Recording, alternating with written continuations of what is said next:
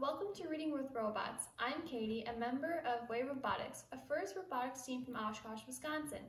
Today I'm reading with Pollux, uh, the robot we built in 2019 Deep Space season. Today's book is Margaret and the Moon by Dean Robbins. Margaret Hamilton loved to solve problems. She came up with ideas that no one had ever thought of before. Why were there only daddy long legs? Margaret had a solution. She would call some of them mommy long legs too. Why didn't girls play baseball? Margaret had a solution. She would join the team herself. Why didn't more girls grow up to be doctors, or scientists, or anything else they wanted?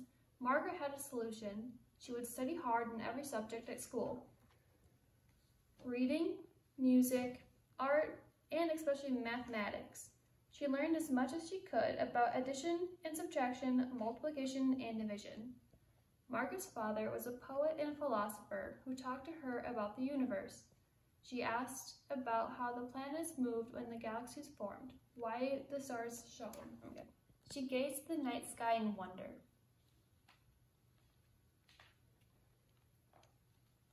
How many miles to the moon? 238,855. How many miles does it take to travel around the Earth? 1,423,000. How fast does it go? 2,288 miles per hour. How big around is it? 6,783 miles. Margaret began solving harder and harder math problems. It was fun working her way through those steps. She liked moving around x's and y's in algebra, she liked measuring circles and triangles in geometry. She liked studying curves and calculus. And then she discovered computers. In 1964, Margaret got interested in an exciting project for NASA, the National Aeronautics and Space Administration. Their scientists were working on the hardest problem humans ever tried to solve, flying people to the moon. Could Margaret use computers to get the astronauts 238,855 miles there and 238,855 miles back? She convinced NASA's leaders to let her try. Margaret thought of everything that could happen on a trip to the moon. Would the spacecraft go off course? Would it lose power? Would the, an astronaut make a mistake? Margaret wrote code to tell the computers how to solve these problems. She worked her way through the steps just as she could to do in math class. Soon, Margaret became director of software programming for NASA's Project Apollo, leading dozens of scientists. She helped Apollo 8 orbit around the moon 10 times. She helped Apollo 9 connect two ships in space. She helped Apollo 10 get within 9 miles of the moon's surface. With Apollo 11, NASA would finally try to put people on the moon. Had Margaret thought of everything that could go wrong with all the lunar landing? She checked her code again to make sure. The astronauts were depending on her. Margaret's code.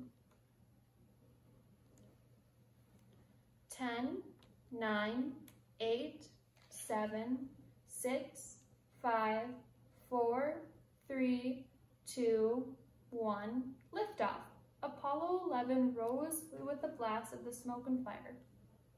Margaret followed along from a control room and the whole world watched on television. For four days, the spacecraft drew near to the moon. The lunar module named the Eagle split off to make the landing. Yippee! But with minutes left to go, an astronaut entered a command and the master's alarm buzzed. Whoops. The Eagle's computer started performing too many tasks. Overload, overload, yikes. The control room panicked. The moon landing was in danger. Everyone looked at Margaret. She had prepared for this problem, of course. Margaret's code made the computer ignore the extra task and focus on the landing. It brought the eagle closer to the moon's surface. Closer, closer, touchdown. The eagle has landed, announced astronaut Neil Armstrong. The control room cheered and Margaret was a hero. Later that night, the Eagles hatched open. Margaret held her breath. Armstrong took the first step on the moon. The whole world celebrated in front of their televisions. Hurrah, hurrah, hurrah, hooray, hooray, below, hurrah.